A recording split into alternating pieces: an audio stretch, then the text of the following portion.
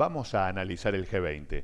No va a ser la única manera ni la única vez que nos vengan a detener eh, sobre este tema. Primero sobre el cambio climático.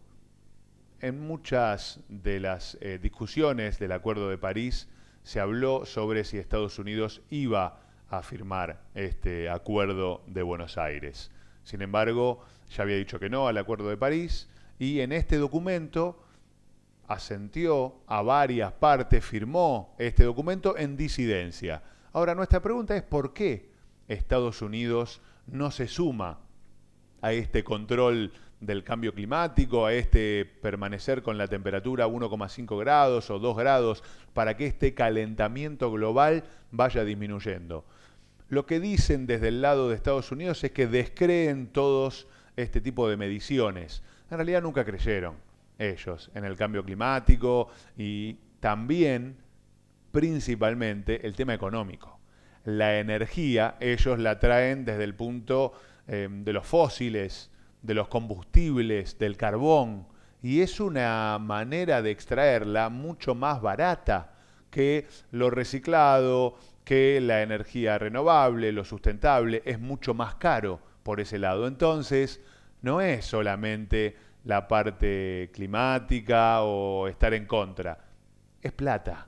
Lo que quieren seguir ganando es plata desde esa manera, de la manera más económica, más fácil. Entonces uno ahí se da cuenta, eh, gracias a especialistas como Georgina John Ferry, nuestra abogada especialista en Derecho Ambiental, todos los lunes la pueden escuchar a las 4 de la tarde en Ciudad Humana, nos explicaba este tema.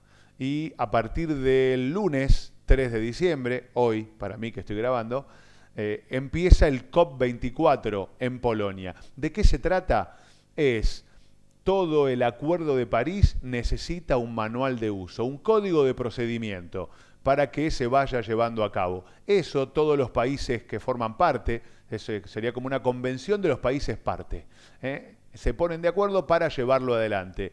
Hoy está en peligro Kiribati, se viene hablando sobre este tema, sobre eh, cómo va subiendo el agua, cómo va cambiándote la vida. Fíjate los incendios en California, eh, como fíjate las tormentas en Europa, fíjate este verano, esta primavera que parece más un invierno que tenemos en la ciudad de Buenos Aires, que amanece con 12, 13 grados. De eso se trata, de tomar conciencia de lo que nos está pasando. Y seguramente el presidente va a tomar este G20 como una punta de lanza o para relanzarse o para la reelección el año que viene. Seguramente va a haber muchas otras cosas para charlar y para discutir y para poner eh, en tela de juicio. No queremos volver a hablar sobre el sueldo docente, el sueldo de los jubilados. Hoy nos dedicamos al G20 y a los avances sobre el cambio climático. Nos escuchamos y nos vemos todos los lunes a las 4 de la tarde en Ciudad Humana.